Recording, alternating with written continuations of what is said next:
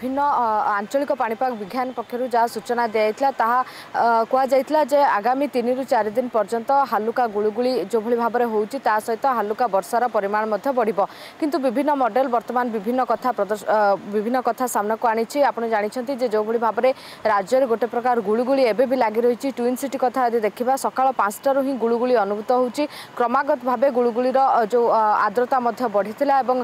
তাপমাত্রা যদিও কম লা কিন্তু তাপরে বি গুড়গুড়ি ଗୁଳୁଗୁଳି ଅନୁଭୂତ ହେଉଥିଲା ଏବଂ ଆଜି ମଧ୍ୟ ସମାନ ପରିସ୍ଥିତି ସକାଳୁ ମଧ୍ୟ ହୋଇଛି ଏବଂ ଯାହା କୁହାଯାଉଛି ଯେ ଲଘୁଚାପ ସୃଷ୍ଟି ହୋଇପାରେ ଏବଂ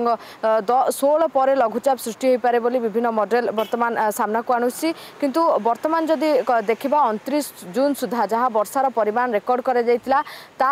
ଟିକେ ନିଅଣ୍ଟିଆ ବର୍ଷା ଥିଲା ଅଠର ପ୍ରତିଶତ ବର୍ଷା ସ୍ୱାଭାବିକ ବର୍ଷା ଠାରୁ କମ୍ ଥିଲା ଯାହା ଆଞ୍ଚଳିକ ପାଣିପାଗ ବିଜ୍ଞାନ କେନ୍ଦ୍ର ପକ୍ଷରୁ ସୂଚନା ଦିଆଯାଇଥିଲା ଏବେ ଯେଉଁ ଘୂର୍ଣ୍ଣିବଳ କଥା ଆସୁଛି ତାହା ଆଗାମୀ ଦିନରେ ଗୋଟିଏ କିମ୍ବା ଦୁଇ ଦିନରେ ସ୍ପଷ୍ଟ ହେବ হব যে ঘূর্ণিবল যে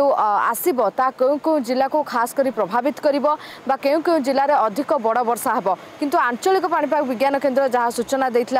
মন্দাকিনী যে যেভাবে ভাবে বর্ষার পরিমাণ কমিছি এবং গুড়গুড়ি বড়িছি এবং তা সহিত যদি দেখা যে রাজ্যের তাপমাত্রা যেভাবে কমিলে বি গুড়গুড়ি অনুভূত হয়েছিল যা রিপোর্ট কৌছি গত বর্ষ জুন মাস তুলনায় এবর্ষ অধিক বর্ষা হয়েছি গত বর্ষ শহে ছত্রিশ দশমিক এক মিলিমিটর বর্ষা রেকর্ড করা কিন্তু জুন অনতিরিশ সুদ্ধা যদি দেখা তাহলে শহে ছপন দশমিক এক মিলিমিটর বর্ষা হয়েছে যা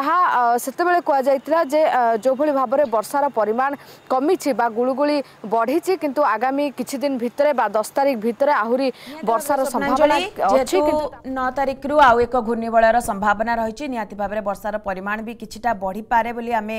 ଆକଳନ କରିବା ବା ଆଶା କରିବା ତେଣୁ ଆପଣ ନଜର ରଖିଥାନ୍ତୁ ପାଣିପାଗ ଉପରେ ବହୁତ ବହୁତ ଧନ୍ୟବାଦ ସ୍ୱପ୍ନାଞ୍ଜଳି ଆପଣଙ୍କର ତମାମ ସୂଚନା ପାଇଁ